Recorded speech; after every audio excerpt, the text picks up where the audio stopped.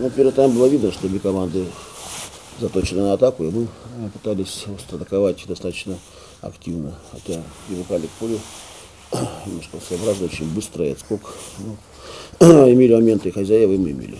В частности, Илья Максимов не забил. Вот такое положение, когда легче не забить, чем забить. Вот. Второй тайм была такая равная, вязкая игра, уже более такая игра пошла как бы по счету, потому что ошибка. Тайме были даже ошибки. Ребята нацелены на то, чтобы не ошибаться, играть более строже, а шанс в атаке у нас всегда будет, потому что соперник играет э, с большим пространством за спиной. И подходы были. Но я так и не понял рефери до конца.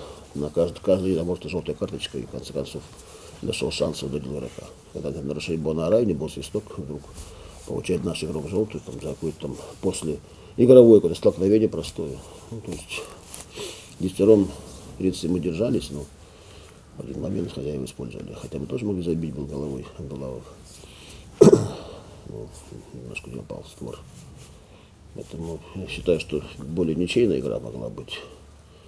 Ну, не, не с такими командами, как Томский и Анжи, в принципе, судейство не должно мешать. Я считаю, что он все помешал. Судья, к сожалению, сломал игру. В том числе для болельщиков. Десятером уже футбол другой стал.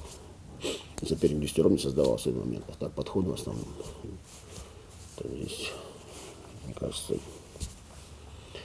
вопрос возникает по судейству во втором тайме. Да и в целом слишком много желтых и нарушение Максимовой в первом тайме, где можно было назначать здесь штрафная площадь 11 метров. Я не помню сейчас, мы не могу сказать, но было явно нарушение.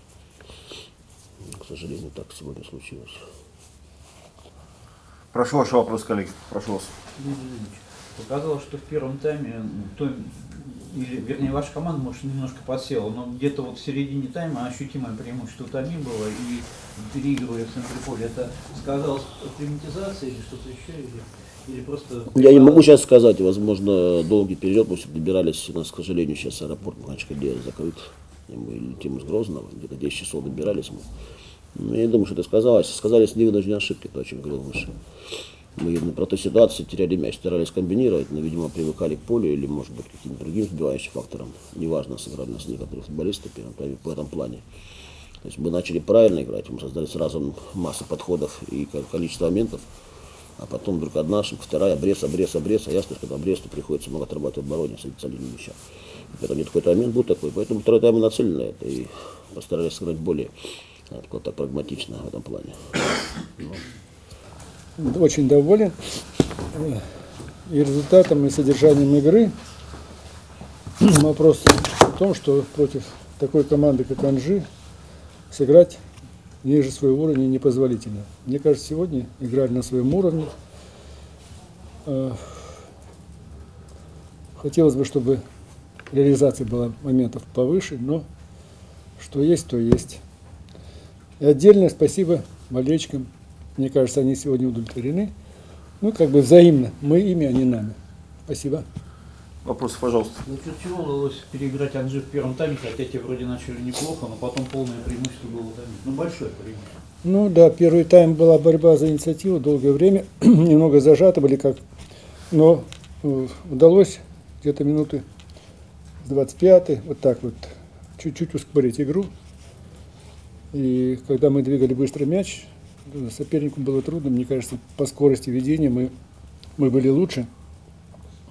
Ну вот, а соперник начал зажиматься, понимая, что отдают инициативу, начали ошибаться и забить бы. Еще вопрос, коллеги. Пожалуйста, Сергей Николаевич. Валерий Кузьмич, вот по поводу того, что по поводу судейства, извините, конечно, но просто ваш коллега высказал, что судья испортил игру во втором тайме. Ваша, ну, ну что его решение было не совсем это Ваша точка зрения, собственно. Ну, вообще-то судейство как-то не очень красиво, но мне кажется, сегодня судейство было на, для нас, во всяком случае, на необычно хорошем уровне. Очевидно, мы по-разному смотрим на футбол с коллегой.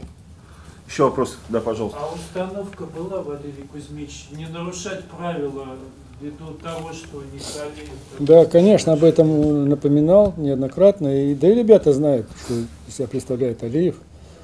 Ну, старались, чтобы не было фолов. Во всяком случае, по центру. На флангах было несколько, тоже нежелательно, но с этими фолами справлялись.